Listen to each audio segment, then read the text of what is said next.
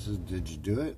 It's April 5th, 2018 at 3.20 Eastern Standard Time. And we are looking at nullschool.net. No, earth.nullschool.net. Thank you.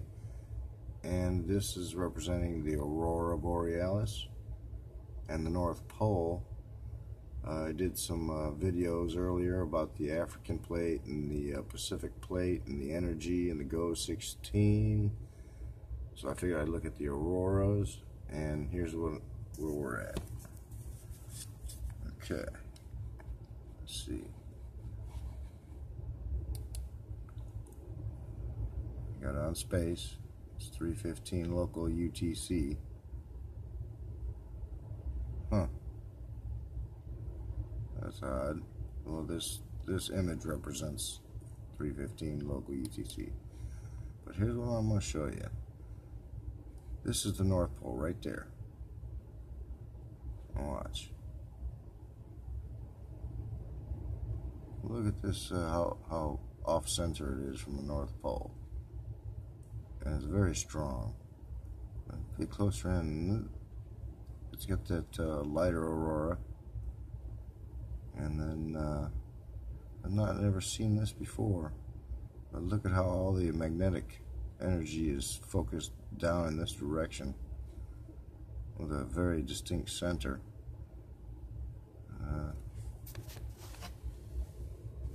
see if we can get a good view. I this really kind of sucks. Wish I had better equipment and knew how to use it. But uh, kind of an odd looking center for the Aurora. The atmosphere's uh, got a lot of energy in it right now and see, figure out, back out of here and look at the South Pole. Well, South Pole is off center also. There's the actual pole as far as the grid work goes, that's all I'm saying. Might not be the pole now, but it's with, according to the grid work they're giving us.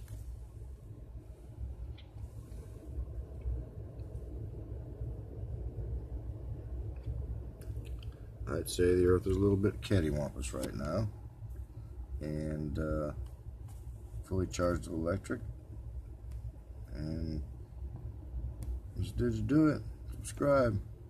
Sorry about the quality of this video.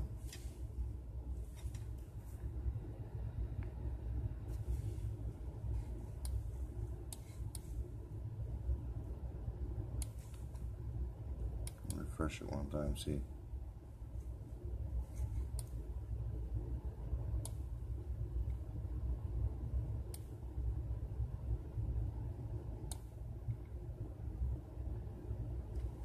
Pretty awesome, folks. I like it. Did you do it? Subscribe.